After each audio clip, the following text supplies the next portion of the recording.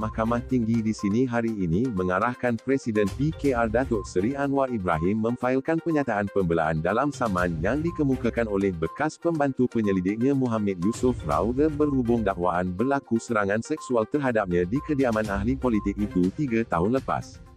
Peguam Mahajov Singh, yang mewakili Muhammad Yusof, ketika dihubungi berkata mahkamah telah mengarahkan Anwar agar memfailkan penyataan pembelaan beliau selewat-lewatnya 28 September ini. Peguam Ranjit Singh, yang mewakili Anwar, ketika mengesahkan perkara itu berkata mahkamah turut mengarahkan kedua-dua pihak agar memfailkan sebarang permohonan interlokutari sebelum 29 Oktober.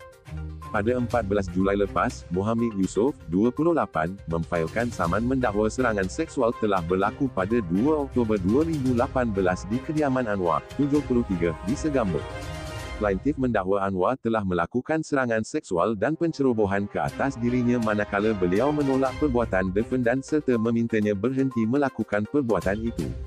Plaintif mendakwa akibat kejadian itu, beliau dituduh berkomplot untuk menjatuhkan dan merosakkan karya politik defendan selain memberi impak kepada kesihatan mentalnya kerana mendapat kritikan daripada pemimpin politik yang menyokong Anwar serta orang awam.